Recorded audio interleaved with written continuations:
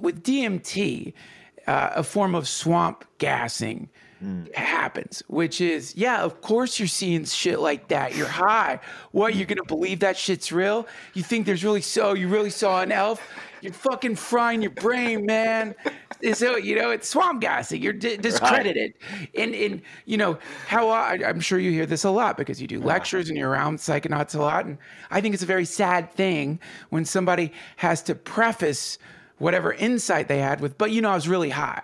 I was mm-hmm. high, you know, I was as though the experience itself completely negates the data that was received within that zone. So to this, this is something I'm very excited uh, about that you are that you are doing. I, I love the article you wrote on Graham Hancock's website regarding the DMT entities, and yes. I just wonder if we could just talk a little bit about your theories regarding these.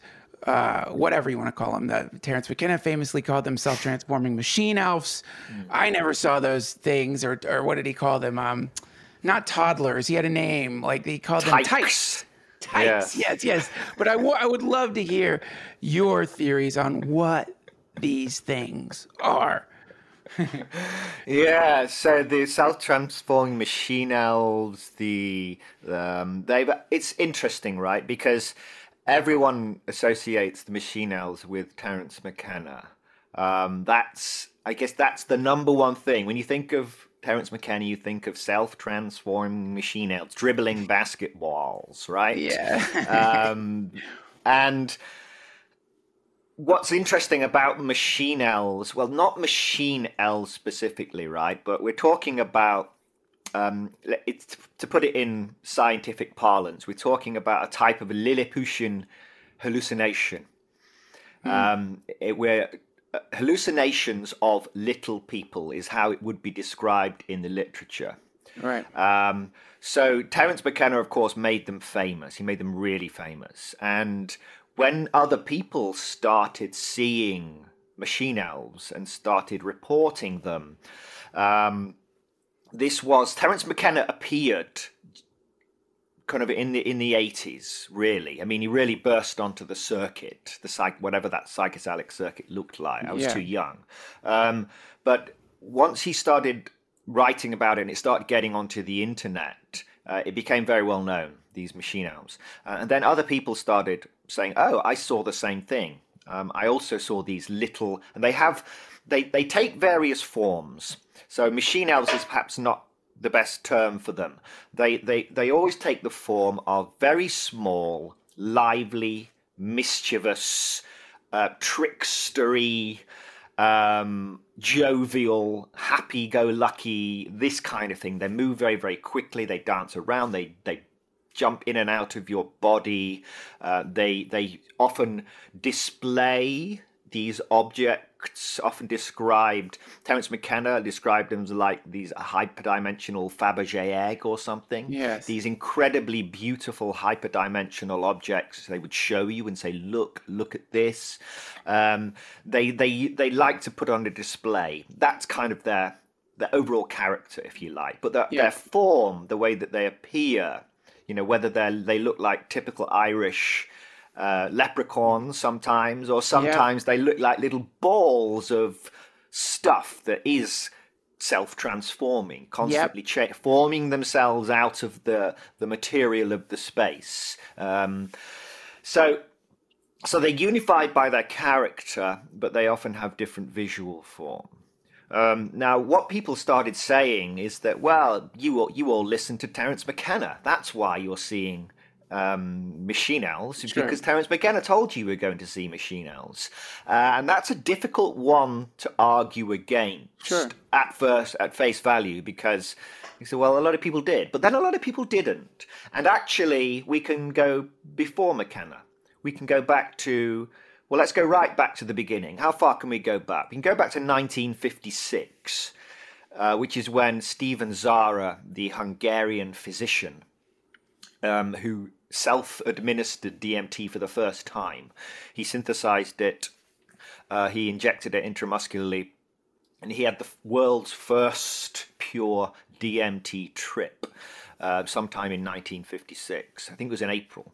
Anyway, um, he started injecting it. In those days, it was pretty simple to do a study. He just kind of got volunteers uh, from the hospital, his colleagues, I think, some patients, yeah. that kind of thing. Come on, gather around. And he injected them all with DMT. And there's a very interesting report in that very first study um, of a woman, I think it was, who describes these small beings. Uh, she said dwarf-like beings that move around very quickly. Uh, that's all we got in terms of the trip report. She wasn't asked to expand upon it, but but there, straight there, from this very first study, you're starting to see something that sounds suspiciously like an elf, right? It's a small being that's lively, that's moving very, very quickly. Right. Then, as we go through the, some of the more popular DMT users, uh, let's take Owsley, um, who uh, created, I think it was Orange Sunshine, right? Right. Owsley. Um, he, dis- he, uh, he did a. Um, uh, an interview where he was talking about DMT, and he mentioned he saw what he described as the Tinker Toy Men uh, again with these little lively beings that Right. he saw. Yes. Uh, Timothy Leary as well would talk about these small, uh, mischievous little creatures dancing around in, in the DMT trip. So it, it's not. We can't put it all down to a McKenna effect. It, Right. it is not. It, it is. It seems to be a an intrinsic part of the DMT state. It's one of the characters that, whether you've listened to Terence McKenna or not, one of the characters that you are likely to come across, one of the entity types you are likely to encounter in the DMT space is going to be these very small, lively, giggling, mischievous little beings that Terence Right. McKenna called machine elves. Right. Uh, now, now, what what are they? That's a that's a different question. And why do you see them? Uh, that's a different question, and I think quite difficult to answer. We have some clues. We can look at archetypal structures. So, um, the archetype of the trickster, the archetype of the clown, Right. um, these kind of um, universal experiences that go back to, you know, long before 1956. We're talking thousands and thousands of years. Yes. Elves, obviously, leprechauns, small dwarf-like beings feature in the mythology, um, not just in Irish mythology. Everyone's, of course, familiar with Gaelic. Um, Yep. The kind of Irish folklore of, of the leprechaun and the elves and things. Yeah. But actually, you can go back much further than that, uh, and you find, uh, you know, in Mexico, in, in other parts of South America, uh, in Africa, you find these myths about these little mischievous beings that, that play tricks on people or lie to people uh, throughout mythology. So this, it's like you're tapping into something there. Ha- the mechanism is not so easy to explain.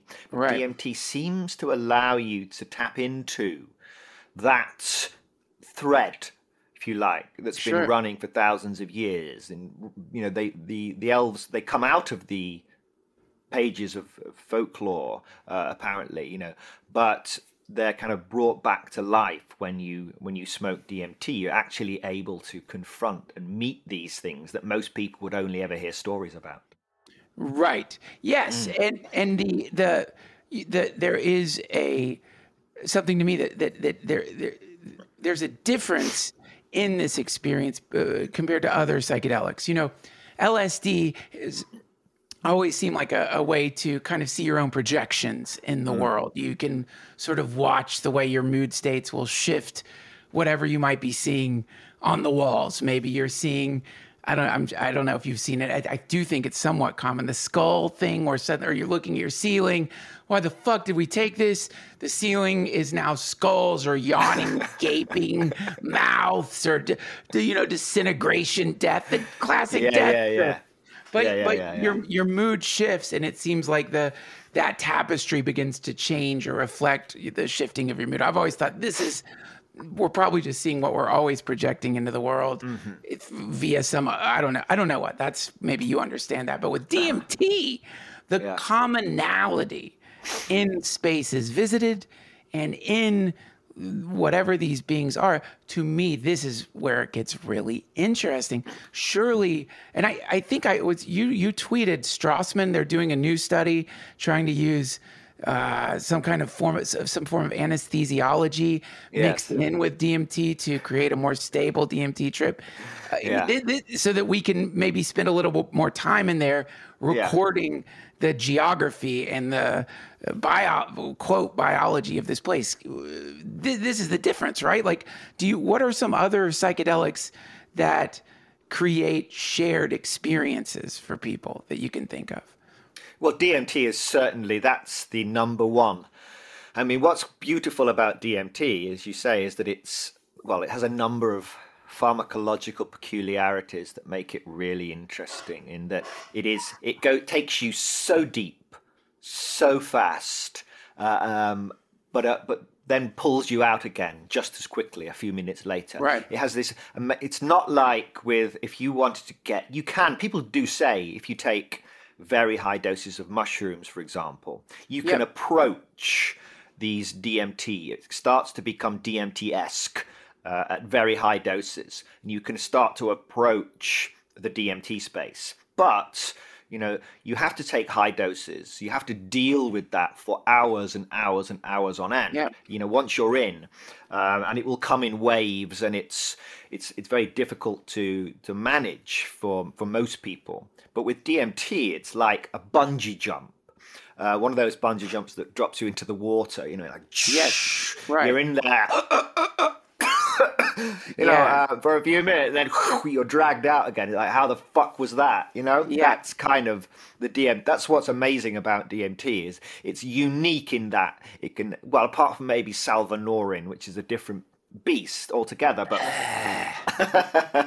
yeah, but DMT is not. DMT seems to, for most people, when they take DMT, it has this comical. It's astonishing. It's shocking. Yes. It's um, horrifying in many ways, but that's just your kind of emotional response to it, I think, because right. it is so fucking strange, you know, bizarre, yes. right? As Terence McKenna used to always say, these are bizarre dimensions, you know, uh, and they really are. Yeah. Nothing can can like can prepare you for that. But generally, uh, and you can look at the, the, the studies that have looked at the the types of entities that you meet there, because it's who you meet that's really interesting, not so much where you go. Although that itself is is a is a, a you know it's a, it's a level ten on the intensity scale. Yes, uh, but who you meet is really what makes the trip, um, and studies have shown generally that about 95%, more than 90% of the time, you're going to meet somebody